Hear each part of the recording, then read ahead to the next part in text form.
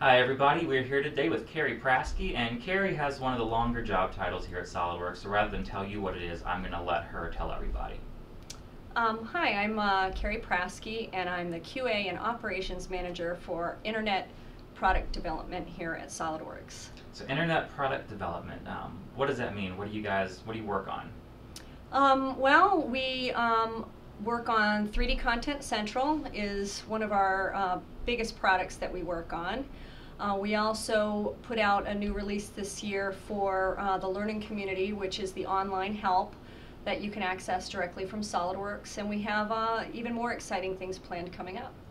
And you guys just released some new functionality on 3D Content Central this week, right? Yes, we did. So tell us about that. Um, we, John Slocum posted a, a, blog entry about it earlier, but what's your, you know, in 30 seconds or less, um, what have you done? Uh, well, this release is um, an enhancement to what we'd already been working on, which is our self-service suppliers. And with uh, this release, the suppliers, you'll be able to go and upload even more of your content. And um, in addition to that, the SOLIDWORKS 2009 release supported um, con the configurator, which allows you to create parametric configurable models that you can upload directly to 3D Content Central and allow people to configure right online and download.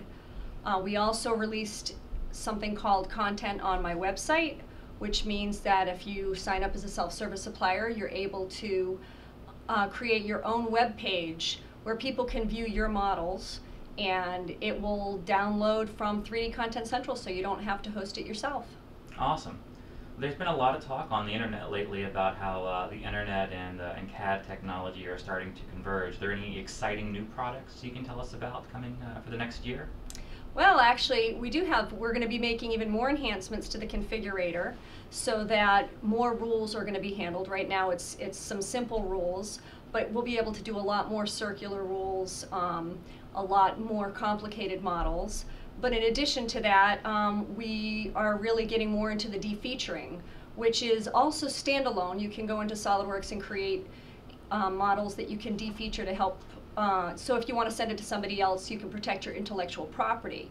But it's also a setting directly in 3D Content Central so that you can create these you know, complicated models that you can parametrically uh, have your customers configure and download, but they can download them defeatured so that you will be able to, um, you know, again, protect your intellectual property. Great. So you'll be at SolidWorks World in Anaheim yes. in uh, January and February. What is it that, uh, that you'll be doing there? Well, I'm actually going to be giving a talk on um, how to maximize your efficiency with 3D Content Central. It's going to be a great talk. It's mainly for users, and it's showing you how it should be a tool that you keep up on your desk all the time because there's a lot to offer in there. There's a lot of information you can get. We've got ratings and reviews, um, all kinds of you know supplier data. It's it's just going to be it's going to show you a great way to um, set up your um, browser to have your um, to work to work well with uh, SolidWorks and, and your designs. So if, if, some of the users out there want to talk to you about some of the ideas they might have or, or things they'd like to see, how would they find you, short of, of going to your session? I'm going to be at the booth a lot, the SolidWorks booth a lot, working on Content Central, and um, and one of the things I did want to say is that a lot of people, I mean, it's great. I love SolidWorks World. I love to hear the positive comments when people come up and tell you how wonderful everything is. But being in the QA um, portion of this, I really like to hear what's not working for you. I really want to hear, you know, how you're using it and how you're stuck, you know, if, if you're having problems or what you'd like to see changed in that because not only does it affect the future of what we're going to design into the product, but it also gives us a better way of knowing how to test it as actual users test the product so that we can be sure to work these out before it gets to market next time. Great. So if you have any suggestions or comments, let Keri know. Yes, please. And so before we sign off, um, any any last words, uh, any advice you give to anybody who might be coming? Oh, just have a great time, see as many things as you can, and really, everybody that works at SolidWorks is there, ready to listen to you, so come find us out and tell us everything. Absolutely.